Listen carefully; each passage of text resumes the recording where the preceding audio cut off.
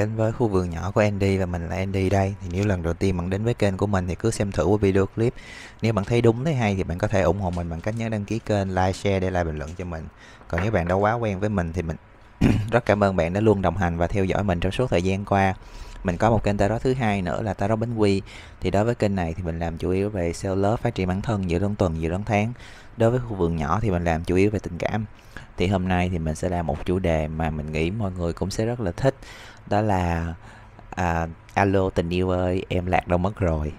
Thì à, nói chung chủ đề này thì cái mà mình muốn trả lời hoặc là muốn đưa thông tin cho các bạn á đó là hiện tại giống như người ta gọi giống như là đầu năm người ta hay coi những đầu năm hoặc là cuối năm thì người ta sẽ hay coi chuyện tình duyên của em như thế nào.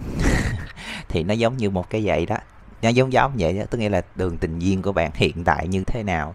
Hiểu cái cái hiểu cái trả bài này nó như thế đó ha. Thì à, mình ở đây mình có tụ 1, tụ 2, tụ 3 ha. Để các bạn cứ chọn tụ bài mà các bạn thích mình sẽ để đá vào sau.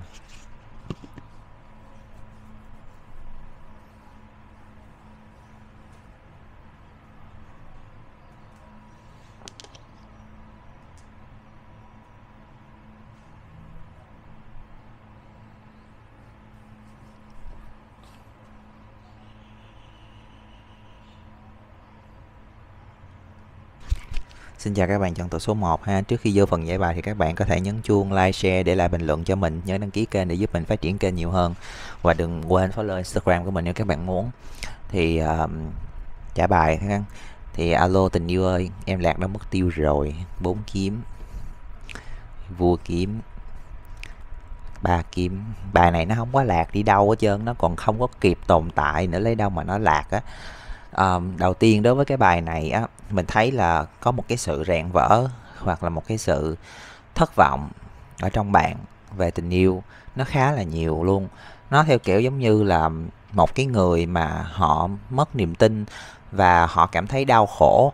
Và dù là bạn đau khổ dưới danh nghĩa là như thế nào tức nghĩa là dưới danh nghĩa của sự tổn thương trong cuộc sống trong gia đình trong bạn bè hay là bạn tổn thương trong chuyện tình yêu bạn đã từng trải qua hay là bạn chỉ đơn giản là nghe ngóng từ bên ngoài thì cái cái cái gọi là cái cái tình yêu của bạn á hoặc là cái uh, cái trái tim của bạn á bạn nhìn ở đây nè nó bị sâu xé nó bị giờ dùng từ sâu xé là chính xác á. Tại vì trong cái trái tim này nè cái cô gái này á cổ nấu cái trái tim của cổ bằng những cái sợi dây và nó đăng nó gọi là nó nó nó nó được khâu nó được khâu vá lại à, mình thì không biết mấy bạn có nhìn thấy rõ được cái lá bài không ha? Nhưng mà bạn có thể nhìn thấy cái trái tim nó nó bị khâu và nó bị kéo căng ra.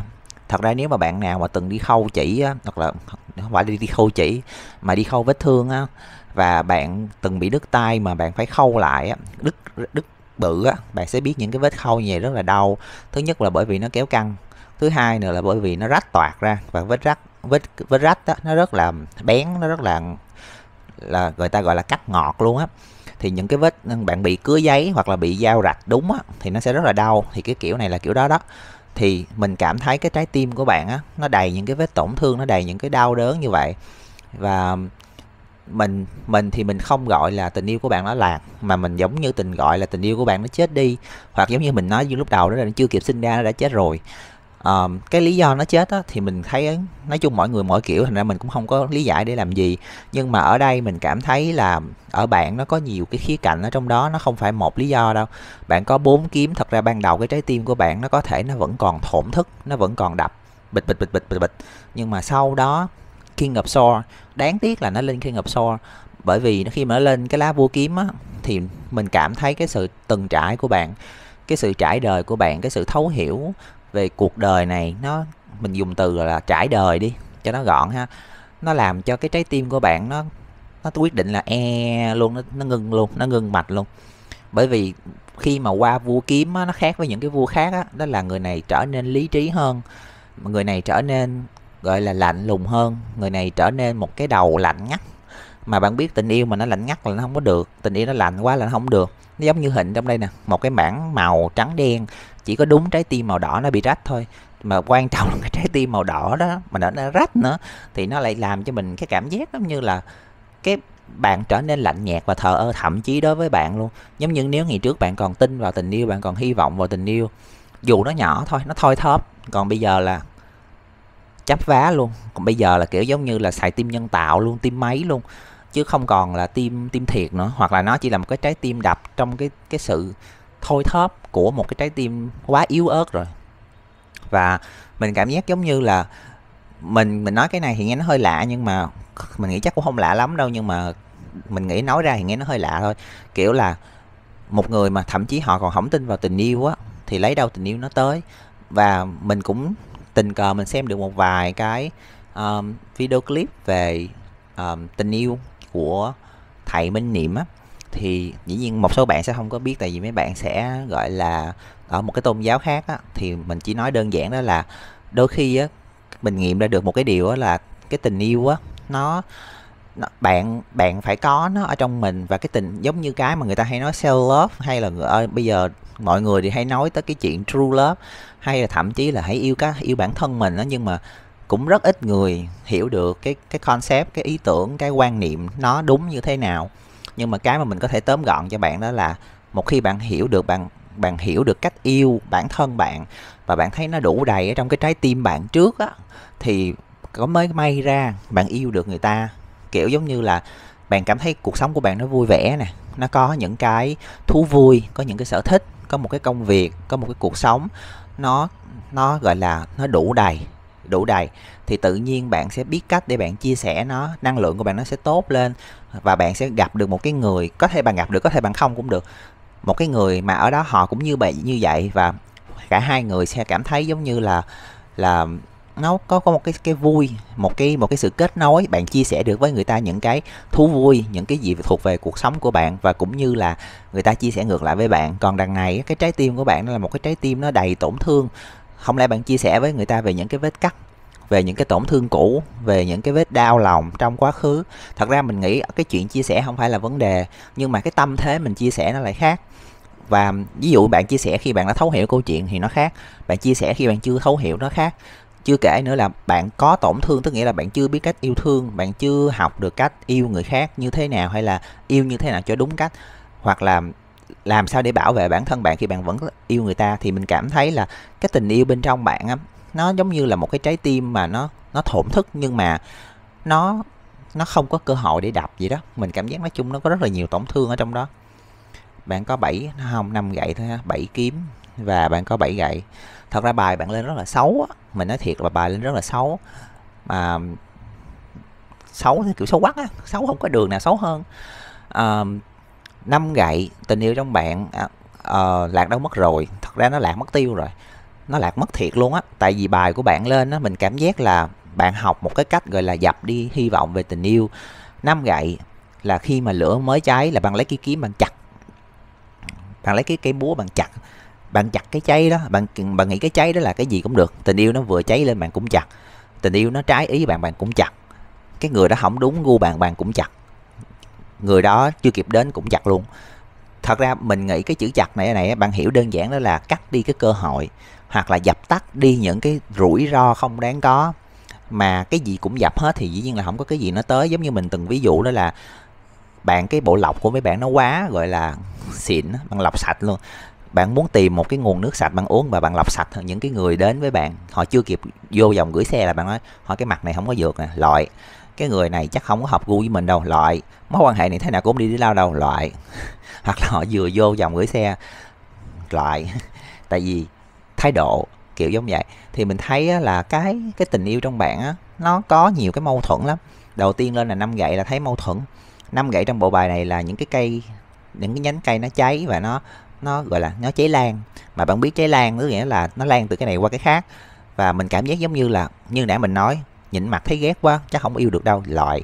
Hoặc là kiểu giống như nhìn thằng này nghi có có thể sở khanh, thế nào yêu vô cũng bị sở khanh, loại. Thì nó làm cho mình cảm giác cái độ phòng thủ của bạn cao kế bên bạn còn bảy kiếm nữa bạn không có tin người ta.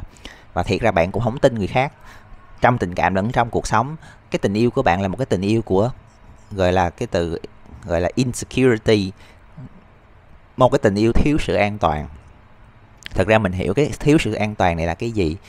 À, nó là một cái sự sợ bị tổn thương sợ bị mất đi sợ của những cái nỗi sợ. Dĩ nhiên mỗi người có mỗi nỗi sợ khác nhau. Thì nói chung là chữ sợ bảy kiếm là sợ sợ bị lừa dối sợ bị lừa gạt, sợ bị phản bội, sợ sợ sợ sợ đủ thứ. Nên, tao quyết định tao lấy hết mọi thứ, tao không có cho ai làm cái gì để tao hết. Bảy kiếm đó là đôi khi là sự phòng hờ á, phòng hờ những cái thứ gọi là trộm cắp, rủi ro. Thì trong chuyện tình cảm thì phòng hờ trộm cắp, rủi ro, tức nghĩa là phòng hờ trái tim mình bị đánh cắp á. Bạn sợ bị trao nhầm, bạn sợ trao nhầm tình yêu cho người khác, bạn sợ trao một cái trái tim nó đã yếu đuối rồi, nó đã mệt mỏi rồi mà mình còn trao nhầm nữa là thấy mẹ luôn. Bạn có bảy gậy thật ra bảy gậy trong cái uh, cái cái cái bộ bài này á nó nó nó thể hiện là một cái cây rìu và sáu cái cây gỗ. Thật ra tất cả những cây cây cây gỗ ở trong đây đều là gỗ hết nhưng mà có một cây nó có cái lưỡi bằng sắt. Dĩ nhiên là nó có lợi thế hơn rồi tại vì nó có khả năng chặt những cái cây khác. Thì cái hình ảnh đó nó cho mình cảm giác giống như là cái tình yêu trong bạn á. Nếu mà nói nó lạc á thì đúng nghĩa là nó lạc thiệt nó lạc nhách luôn. Lạc á chứ không phải là thất lạc. Tại sao mình gọi là lạc nhách? Tại vì mình cảm giác á trong bạn á, có những cái góc nhìn về tình yêu, có những cái cái cách nghĩ về tình yêu nó rất là cố cố hữu hoặc là cố chấp. Và mình cảm thấy bạn không mở lòng được, bởi vì mình cảm thấy giống như là, ví dụ như bạn nói là bó củi này thì tao xài để nấu cơm, bó củi kia thì tao để để dự phòng. Và tao chỉ thích củi thẳng, tao không thích củi cong, tao không thích củi ốm nhưng tao thích củi mập kiểu giống vậy. Và bà hiểu cái ý của mình ở đây không? Củi củi á, thì đã cái hồi chăm nấu bếp á nếu mà bạn nào nấu bếp bằng củi rồi bạn sẽ biết. Củi to á thì nấu nó lửa nó rất là dai và nó có than. Nhưng mà để chăm được cái củi nó cháy lên á rất là khó. Củi nhỏ á, thì mặc dù á, là đốt phải chăm hoài chăm mãi chăm liên tục nhưng mà đốt lên rất dễ và người ta thường dùng củi nhỏ để chăm củi lớn. Và bạn bạn thì bạn loại hết rồi. Bạn loại củi nhỏ bạn lấy củi lớn. Người tới hỏi bạn chăm củi tới hỏi bạn bắt cái bếp lên á thì củi nhỏ đâu mà chăm lửa. Mà để chăm được củi củi lớn á, thì phải chăm hoài chăm mãi chăm rất là lâu. Nó mới cháy. Chưa kể nữa là đã bắt bếp rồi thì củi nào cũng là củi thôi. Quyển sao nó cháy chính nồi cơm ăn là được. Thì mình cảm thấy trong cái câu chuyện mình vừa kể thì nó bạn có thể nhìn thấy được cái vấn đề nằm trong đó. Tức nghĩa là bạn thường nghĩ một cái mẫu người nào đó, một cái câu chuyện tình yêu nào đó, nó giống như là một cái cây củi và cái nồi cơm. Bạn muốn có nồi cơm bạn ăn nhưng mà củi bạn chọn nó sai bét rồi, củi bạn làm nó sai bét rồi. Thành ra là làm gì có cơm, mà không có cơm thì lại đói, mà lại đói thì lại muốn châm lửa, mà lại châm lửa thì lại tốn sức. Nó lại lòng vòng lẫn quẩn ở trong đó. Và mình cảm giác giống như là bản thân bạn cũng nhận ra được bạn. Mình chắc chắn là những cái bạn chọn tù một này bạn nhận ra được cái vấn đề. Chỉ có là bạn không biết sửa làm sao để cho cái tình yêu của bạn nó nó sơ trơn tru nó suôn sẻ hơn. Mà bài này lên nãy quên rút mất tiêu lời khuyên rồi. Thôi để bữa nào làm lời khuyên chủ đề lời khuyên sao á tạm thời tới đây thôi ha. Xin chào các bạn chọn thuộc số 2 ha. Trước trước khi vô phần giải bài dạ. đau quá. À, trước khi vô phần giải bài thì các bạn có thể nhấn đăng ký kênh. À, tê cái đầu gối. À, nhấn đăng ký kênh để giúp mình phát triển kênh. Like share để lại bình luận cho mình nếu các bạn thích ha thì uh, tình yêu ơi em lạc đã mất rồi. Chính kiếm là thấy lạc rồi đó. Pay up so là thấy lương lạc luôn rồi đó. Và strength ôi rồi ôi tự gạt người gạt mình thôi. Bài này lên á, đầu tiên là chính kiếm. Chính kiếm á, lúc đầu thì mình nghĩ á, là cái tụ này chắc có vẻ giống như là tình yêu nó lạc là bởi vì nó giấu vô bên trong. Bằng cái gì? Bằng pay of sore tức nghĩa là nó giấu bằng tri thức nó giấu bằng cái vẻ nguội lạnh của nó nó giấu bằng cái việc là nó tập trung cho công việc và sự nghiệp ai ngờ thì nó chỉ tự lừa gạt, tự lừa gạt lòng người, lòng mình thôi, là strength. Tình yêu của bạn á, nó vốn dĩ nó không có chết đi và nó cũng không có lạc đi đâu hết á. Nó ở ngay trong bạn luôn, nó chỉ là đội lớp thú thôi. Tức nghĩa là bạn khoác lên mình một bộ lông thú và bạn xù lông với mọi người, bạn xù lông với chính trái tim của bạn. Nó có hai khía cạnh ở đây. Đầu tiên là cái nghĩa là giấu giấu tình yêu và xù lông. Cái giấu tình yêu và xù lông á, thì mình cảm thấy gì nè giấu tình yêu bạn bạn sợ tình yêu. Bởi vì bạn nghĩ rằng cái việc mà yêu một người á là một cái gì đó quá đau khổ. Người khác sẽ không hiểu tại sao gọi là yêu một người mà là quá đau khổ nhưng mà tụ hai nó sẽ hiểu tại sao là như vậy. Mình không biết nói vì sao hết nhưng mà mình biết là bởi vì cái tổn thương bên trong của mấy bạn uh, bạn từng yêu một ai đó và bạn thất vọng nhiều và bạn không muốn bắt đầu lại một cái quá trình yêu một người để lại thất vọng nữa hoặc là một cái câu chuyện tương tự. Tức nghĩa là bạn sợ đặt niềm tin vào người khác và bạn sợ một ngày nào đó cái tình yêu đó nó sẽ bay đi giống như con chim hoặc là nó sẽ không còn tồn tại bên bạn nữa. Và bạn không muốn mình phải rơi rụng vào cái tình trạng uh, hàm bà lằng như vậy nữa. Bạn muốn thoát ra bạn không muốn mình phải bị lụy bạn không muốn mình trở thành một cái phiên bản tồi tệ trước kia bởi vì bạn đã mất rất nhiều thời gian để bạn vượt qua thì mình nghĩ tụ hai nó sẽ hiểu cái lời mình nói. Nếu mà thật sự bạn chọn đúng tụ ha thì cái tình yêu của bạn nó cũng không có lạc. Mình nói rồi nó không có lạc nó chỉ là một cái tình yêu nó bạn tự vừa lối lối dối lòng là dối lòng lừa lừa gạt bản thân thôi. À, một cái nữa đó là xù lông. Tụ hai luôn luôn là tụ xù lông. Nó xù lông với thế giới bên ngoài bởi vì nó đầy những cái vấn đề mà bản thân nó tự làm khó nó. Ở đây mình cảm giác gì nè? Bạn ở đây trong cái lá strand á, bạn nhìn thấy một con cù hoặc là con bê con không? Với một con con sư tử. Mà sư tử này là sư tử cái ha nhưng mà có lại có bườm ha. Thì nó mày làm nó mắc cười. Thì nó làm cho mình một cái cảm giác đó là cái gì? Đó là bạn mình không gọi là bạn gồng mà mình gọi là cái bản chất luôn của bạn cái bản tính của bạn luôn á là sư tử cái. Mà bạn biết sư tử cái hoặc là hồi xưa á người ta có một cái cụm từ là sư tử hà đông á để để chỉ cho một cái cô gái rất là hung dữ mà khó có chồng á mà kiểu giống như là vừa hung dữ vừa không có duyên á mà vừa kén chồng mà vừa không như đàn ông á, là sư tử cái á, hoặc là sư tử hà đông á thì người ta dùng những cái từ đó để để nói về những cái cô gái như vậy.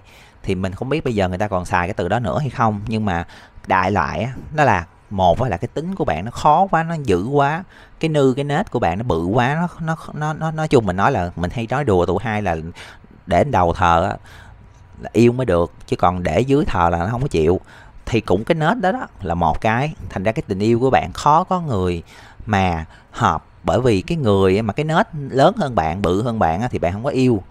Tức nghĩa là bạn thích một cái người giỏi hơn bạn nhưng mà cái nết nó nhẹ hơn bạn.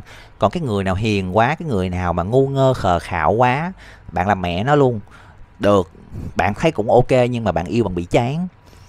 Đó là một cái trường hợp. Còn cái trường hợp thứ hai là bạn xù lông. Xù lông ở đây là làm sao? Xù lông ở đây đó là khi mà tình yêu á nó nó làm cho bạn nó phụ lòng bạn á xong rồi bạn cảm thấy giống như là không ta không có để cho cái chuyện phụ lòng nữa xảy ra nữa ta sẽ quyết định trở thành cô gái mạnh mẽ. Và khi bạn thành cô gái mạnh mẽ thì bạn dĩ nhiên là bạn không có còn để cho người ta ăn hiếp bạn nữa. Và trong tình yêu bạn lý trí hơn bạn cứng rắn hơn bạn hung dữ hơn theo cách này hoặc là cách khác. Và ai bước tới bạn đều xù lông hết. Và bạn cũng không có tin vào tình yêu nhưng mà trong trái tim bạn luôn đeo một cái, cái dây chuyền tình yêu. Tức nghĩa là bạn tự tác vào mặt bạn thôi kiểu giống như là ờ tao không yêu đâu nhưng mà tao vẫn mong đợi tình yêu một ngày nào đó đến nhưng mà chỉ sâu thẳm trong trái tim của bạn bạn biết thôi. Cái tình yêu của bạn nó vốn dĩ nó không có lạc đi đâu hết á nhưng mà nó nằm ở một cái chỗ đó là uh, nó nằm ở một cái chỗ mà mình cảm giác giống như là bạn vẫn mong tình yêu nó đến. Nhưng mà cái tình yêu đó nó đến như thế nào á thì mình cảm giác bạn lại hơi nghi ngờ bạn hơi ngờ vực.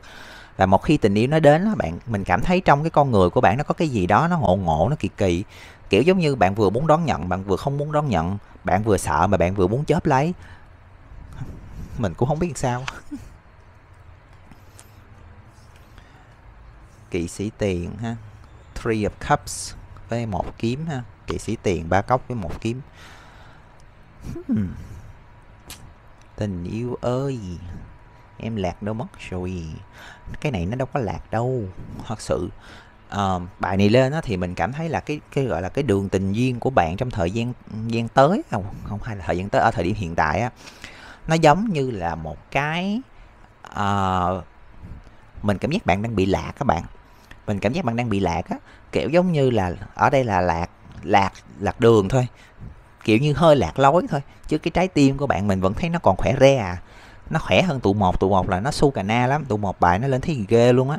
Thì mình cảm thấy là bạn dù sao cũng còn đỡ hơn nhiều. Tức nghĩa là cái trái tim của bạn nó vẫn còn đập rất là khỏe và bạn cũng sẵn sàng đón nhận tình yêu lắm. Chỉ có cái vấn đề nằm ở chỗ đó là mình cảm thấy để một cái người á mà họ chinh phục được cái trái tim của bạn á thứ nhất á là người đó phải là một cái mẫu hình ngon ngon ăn ngon về phần nhìn lẫn ngon về phần phần gì trời. Nói chung là ngon ăn đi ha. Cái phần thứ hai á, là người này phải hiểu được cái tính của bạn họ phải như một người bạn thân, một người chị em, một cái người kết nối được với bạn, pha trò được, vui tính được. Họ phải cho bạn một cái cảm giác là người gần gũi. Họ không có cảm giác đó thì họ khó mà quen được bạn. Cái thứ ba nữa là người này phải là người ăn nói, nó có có đầu, có đuôi, có chừng, có mực và phải là người thông minh. Khó nha, kẹo này khó nha. Mấy cái người mà như vậy là, thật ra ngoài đời này cũng có chứ không phải không, nhưng mà hơi khó tìm đó hàng hiếm đó. Thật ra cũng không hiếm lắm đâu nó cũng nhiều lắm nhưng mà đại loại là có hợp với mình hay không nữa. Nhưng mà những cái người đó thì thường họ cũng chọn những cái người xịn xịn. À, thì bài lên ở đây đó mình thấy là cái tình yêu trong bạn á cái đường tình duyên của bạn trong thời gian tới mình thấy nó cũng sáng lắm đó nó không có sủa đâu. Nhưng mà à, mình chỉ cảm giác là trong cái góc nhìn của bạn á nó giống như một kiếm vậy nè trong một cái biển người. Không đây không phải là biển người đây là trong một cái biển gì đó đen thùi lùi. Thì bạn có, gọi là, bạn có sẵn lòng á, cho một cái người nào đó, họ có một cái cơ hội để họ bước vào hay không, mà bạn không xù lông, và cũng như là bạn dám cho bản thân mình một cái cơ hội để thoát ra khỏi cái vực thẳm cũ hay không. Tại vì ở đây nó phải đến từ hai chiều lận, bài của bạn lên nó nó đẹp nhưng mà nó khó ở cái chỗ đó là bản thân bạn đang tập trung năng lượng vào một cái gì đó khác, giống như về công việc, về cuộc sống về tình bạn hơn là tình yêu. Tình yêu bạn muốn để cho nó tự nhiên nó tới, nhưng mà mình nói thiệt, tình yêu nó tự nhiên nó tới thiệt cũng được đi. Nhưng mà bạn cũng phải làm một cái gì đó với nó nó mới tới, chứ không thể nào mà tự nhiên nó tới được không? Giống như giờ thằng đó nó tự nhiên nó tới, nó thích bạn mà bạn không thích nó, rồi có tự nhiên được không? Hoặc là, kiểu, giống như bây giờ thằng đó nó cũng thích bạn, mà bạn không có mở lòng, bạn, kiểu, giống như không giờ em bận lắm, em mắc công chuyện lắm, em mắc này mắc kia lắm thì cũng không có được. Bạn phải có một cái sự tương tác lại, giống như người ta thả thính bạn thì bạn cũng thả thính lại. Thì hai đứa đớp đớp với nhau thì nó mới có tình yêu được. Chứ còn này nó thả thính mà mặt bạn nó lạnh tanh à nó nguội ngắt, nguội ngơ à thì người ta cũng sẽ nguội lạnh với bạn không sớm thì muộn. Thành ra mình cảm giác tình yêu nó tự nhiên nó tới thiệt á, nhưng mà bạn có tự nhiên cho nó vô không hay là bạn cưỡng cầu? Tại vì bài của bạn lên bạn hơi cưỡng cầu. Là cái thứ hai mình thấy, cái thứ ba nữa đó là bạn á, trong bạn á nha nhìn thì bạn đau to búa lớn nhưng mà tâm hồn của bạn nó là một cái mỏng manh lắm. Tâm hồn bạn nó mỏng giống như tờ giấy xé cái toạc là rách rách liền luôn. Mà mình cảm giác á bạn chỉ có cái vỏ nó xù xì thôi bạn giống như ốc chó vậy đó. Kiểu giống như là ở ngoài á thì nó cứng ngắc hà chọi chết người luôn. Nhưng mà ở bên trong thì là cái quả ốc chó là là cái hạt đó, đó thì lại rất là bổ và béo. Thì mình chỉ cảm giác giống như là để tách được cái cái cái cái vỏ của bạn ra cái người đó phải rất là kiên trì. Họ phải chứng minh được cho bạn thấy bạn là một, họ phải là, phải chứng minh cho bạn thấy họ là người xứng đáng, phải chứng minh được cho bạn thấy họ là người có giá trị và phải rất là kiên trì, cần mẫn với bạn. Bạn mới cho họ cảm thấy được cái cái quả, cái hạt ốc chó ở trong. Còn nếu không là bạn chỉ xù đúng nghĩa cái cái cái vỏ ốc chó ra ngoài thôi. Nếu mà mày không thấy giá trị của tao tao chỉ là một cái hạt cứng ngắc còn nếu mà mày tách ra được cái hạt, cái vỏ của tao thì ok, mày ăn được tao tại vì mình thấy là ở trong bạn á, nó có một cái sự đánh đố, tình yêu trong bạn nó có một cái sự đánh đố. Và nếu ai ai biết cái sự đánh đố đó là cái gì và đánh vô trúng cái chỗ cần đánh thì sẽ thắng. Còn nếu mà không á, thì mình cảm giác kèo này thua. Xin chào các bạn, chọn tụ số 3 trước khi vô phần giải bài thì các bạn có thể nhấn chuông like, share để lại bình luận cho mình. Đừng quên follow instagram của mình nếu các bạn muốn ha. Nhớ nhấn đăng ký kênh để giúp mình phát triển kênh nhiều hơn à, tình yêu ơi em lạc đã mất rồi. Ôi rồi ôi. Rồi ôi. Rồi luôn. À, một kiếm hai tiền với bốn gậy. Mấy đứa này tình yêu nó đâu có lạc đâu. Tình yêu nó nằm chà bè đó ra còn có cái người mà lạc là tụi bay lạc đó, chứ ai mà lạc. Tại vì sao mà mình nói như vậy? Bạn đang lạc trong cái thế giới của bạn. Mình cảm giác gọi là à, cái bài gì của hoàng thị linh nè mỹ còn trẻ mỹ muốn đi chơi đó mỹ chưa có muốn có chồng đó. Thanh xuân này là để nghỉ ngơi đó chứ không phải thanh xuân này là để có chồng và đẻ con. Tại vì bài của bạn lên ở đây đó là trong cái đầu của bạn trong cái suy nghĩ của bạn á tình yêu á. Thật ra bạn coi tụ bài này á cho vui thôi chứ mình biết là yêu hay không là do bạn quyết định chứ mình có nói cái cái quần gì là bạn cũng không có suy nhê gì đâu.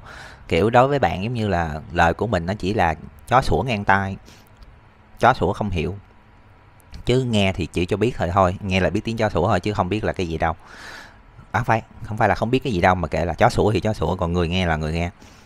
Vì sao mình nói như vậy? Tại vì thật sự đối với bạn á, cái tình yêu á nó giống như kiểu là bạn muốn hiểu hơn về những cái góc độ những cái sắc thái khác nhau để bạn biết có cái con đường tình duyên của bạn sắp tới nó như thế nào. Hả? Bạn nói là ở ừ, sắp tới bạn mấy bạn có bồ đó bạn sẽ kiểu giống ô dê ô dê sắp có bồ nhưng mà còn có bồ hay không chừng tới đó tính. Còn nếu mà sắp tới mình nói ừ tụi bạn tụi bay không có sắp tới chưa có bồ đâu chưa có bồ đâu tụi bay còn ế dài lắm bởi vì tụi bay abcd vậy đó thì bạn sẽ nói ok chưa có bồ thì chưa có bồ. Mỹ vẫn tiếp tục tung bay. Đó. Cái câu chuyện ở đây nó là như thế thành ra góp cuộc tình yêu của bạn á nó rất là sẵn sàng mình thấy tình yêu của bạn nó sẵn sàng, nhưng mà vấn đề nằm ở chỗ là bạn sẵn sàng gì bạn bạn có sẵn sàng hay không mới là vấn đề. Cái trái tim của bạn á, mình chưa thấy trong bài bài này luôn, mình chưa thấy luôn nha. Mình chỉ thấy là trong đầu bạn á, tình yêu là một cái gì đó nó phức tạp lắm. Nó bự chản luôn. Và mình cảm giác giống như là mọi ngóc ngách trong cái trái tim của bạn á, bạn muốn khám phá hết luôn. Bạn muốn biết được tình yêu này nó như thế nào, nó ra sao, nó tròn vẹn, nó vuông tròn, nó méo mó như thế nào mình cảm giác trong cái con người của bạn á, bạn mong chờ một cái tình yêu nhưng bạn cũng lo sợ một cái tình yêu. Mình cảm giác bạn mong muốn cái tình yêu đó đến á, nó phải đến luôn một lần và mãi mãi, hoặc là ít nhất là nó đến luôn nhìn nó đẹp. Chứ nó đừng có đến mà theo kiểu giống như cà giật cà giật cà giật rồi xong rồi lại ra đi hoặc là gây tổn thương cho bạn. Nếu mà tình yêu nó đến nó chỉ tổn thương cho bạn bạn sẽ nói thôi, khỏi, không cần tới và cũng không cần phải tiếp đón. Làm ơn, đi đi còn nếu mà tình yêu mà nó kiểu như nó su cà na thì càng nên không bước càng nên không nên bước tới. Mình cảm giác cái trái tim của bạn là trái tim nó có chọn lựa đó. Thành ra mình nghĩ là bản thân bạn á là người tự xua đuổi tình yêu nó đi khỏi bạn thôi chứ không có ai hết trơn một phần á là bởi vì trong cái suy nghĩ của bạn nó nó hơi bị over bạn kiểu giống như bạn suy nghĩ rất là kỹ bạn xét đoán rất là kỹ bạn chọn lựa rất là kỹ. Thành ra cái kiểu người của bạn để quen được bạn á, là phải người bạn chọn á bạn có bốn gậy mà phải là bạn bè đồng trăng lứa là người phải chơi thân với bạn hiểu bạn hiểu cái nết của bạn nhưng mà cái nết của bạn thì nó không có giống như tụ hai cái nết của tụ hai là cái nết của bà chằn sư tử hà đông bài của nó lên vậy nha không phải tôi nói nha thì cái nết của bạn là cái nết mà kiểu giống như là cái nết của mày phải giống cái nết của tao nếu tao cái nết của tao mà cái nết của tao mà mày chịu không được á thì tao với mày không có yêu được đâu cái nết của bạn là cái nết mà không phải kiểu giống như là khó ăn khó ở mà là cái nết nó kiểu giống như là nó cà giật cà giật cà giật. Thì bạn mới thích một đứa phải cà giật cà giật cà giật như bạn.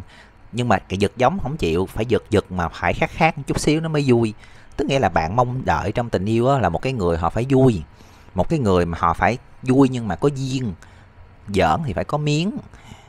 Thả thính, thả bả đồ thì phải có ý tứ. Chứ mà kiểu hài vô duyên mà cũng không được. Nói chuyện mà mà mà vô giáo dục thì cũng không được. Mà đôi khi nói chung chửi thề cũng không được. Nói chung mình cảm giác á, giỡn với bạn á, nó cũng khó mà nó cũng dễ. Tức nghĩa là có những cái bạn sẽ cười rất là dễ thương, nhưng mà có những cái bạn sẽ không có cười.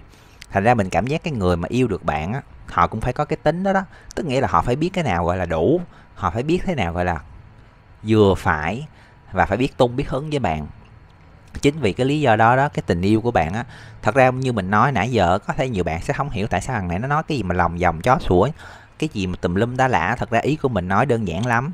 Đó là cái tình yêu á đối với bạn á nó phải là một cái gì đó nó rất là tự nhiên nó rất là thoải mái. Và mình cảm giác cái thứ bạn đi tìm á, là một cái người cho bạn cái cảm giác được sống được trải nghiệm và được vui vẻ bên nhau. Nhưng mà mình cũng nói luôn cuộc đời này nó không phải có cái gì nó cũng vui vẻ. Bài của bạn lên tình cảm của bạn sắp tới mình thấy nó nở hoa đó. Bài bạn lên rất là đẹp đẹp nhất trong ba tụ luôn.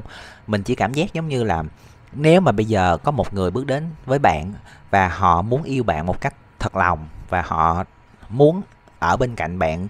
Có thể là với với tư cách là bạn bè với tư cách là người yêu, hay là họ muốn tiến sâu hơn nữa, thì bạn có sẵn sàng đón nhận họ vào hay không? Bạn có muốn gọi là cho họ cơ hội hay không? Hay là bạn vẫn muốn tận hưởng cái cuộc sống là độc thân và available của bạn, độc thân vui tánh?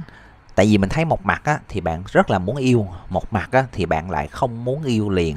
Bạn muốn là hai đứa tìm hiểu là bạn là từ từ nâng lên. Và một mặt nữa bạn cũng là cái kiểu người mà bạn suy nghĩ quá nhiều đi. Bạn kỳ vọng một cái tình yêu nó phải thấu đáo nó phải lâu dài. Bạn muốn tìm một cái người như mình nói giỡn phải có duyên nói chuyện phải có ý tứ. Và một cái người phải hiểu được bạn trân trọng bạn chơi thân với bạn kết giao với bạn giống như một người bạn bạn thân tri âm tri kỷ. Thì liệu nó có quá khó không? Để cái tình yêu của bạn nó có lạc đâu không nha The Chariot for Soul Death. Ờ, không chất mình chứ không phải Death ha.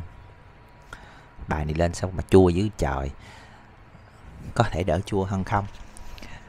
À, tình yêu của bạn lạc đã mất rồi. Thật ra nó đâu có lạc đâu con này nó quấn chăn lại nó che giấu tình yêu nó thôi. Mình á, thì mình thấy vậy nè. Bài của bạn lên á cái tình yêu của bạn á mình vẫn cảm thấy nó nằm chè phè ra thôi nó không có lạc đi đâu hết trơn á. Nhưng mà mình cảm thấy cái trái tim của bạn á nó nguội lạnh sao á. Nó không có giống như kiểu của tụ tụ tụ một nha. Tụ một là cái trái tim bị bị tan nát bị xé lòng thành ra nó không yêu được. Bởi vì nó đầy tổn thương. Tụ hai á, thì là cái trái tim xù lông thành ra người ta không có chạm vô được.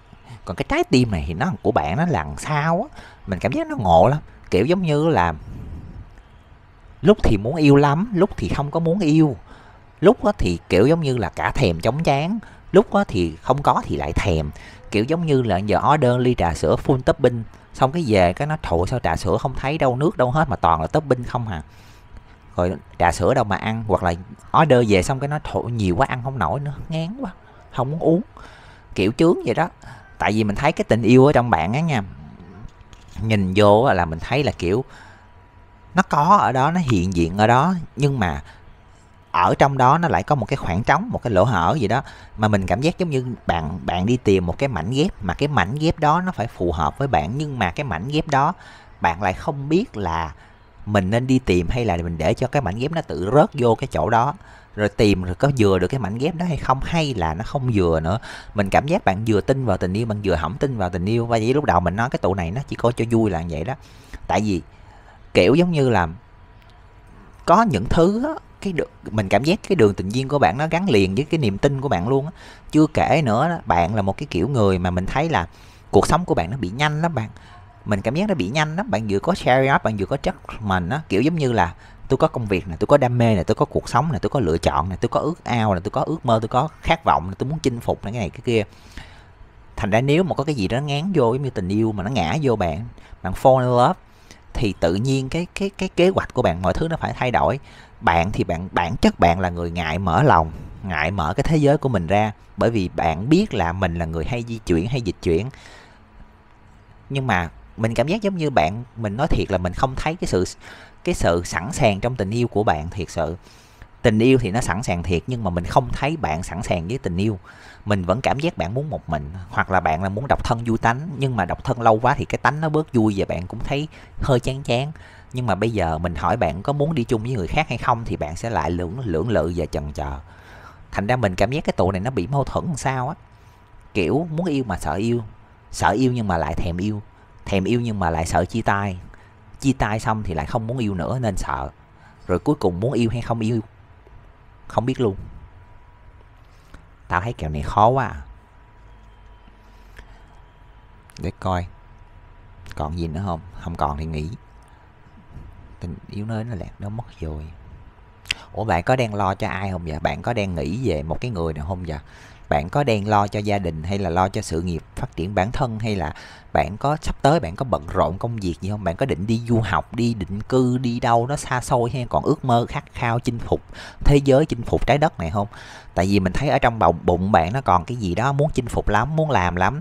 Giống như cô gái mà thở đôi mươi vẫn chưa muốn có chồng, vẫn còn muốn sinh, vẫn còn muốn đi tung tăng đây đó, du ngoa, du ngoạn khắp nơi, chưa muốn có chồng mà cũng không sợ ế không? Tại ra mình mình thấy ở đây cái vấn đề nằm ở chỗ là trong lòng bạn, trong cái bụng của bạn á, nó chưa có ưng, nó chưa có ưng. Mà mình cảm giác giống như mà để lâu quá thì bạn lại sợ cái bụng bạn nó mọc rễ, nó không có người bước vô được. Nhưng mà bây giờ kêu có bồ thì lại mình lại cảm giác ở trong bụng bạn nó có một cái lỗ hỏng mình cũng không biết cái lỗ hỏng này là cái gì, nhưng mà mình cảm giác bạn không có sẵn sàng để mở lòng đón người ta vô. Mình chỉ cảm giác là trong bạn nó nói chung tình yêu nó nằm ở trong bạn á, nhưng mà mình không thấy bạn mở cho cửa cho tình yêu nó bước vô.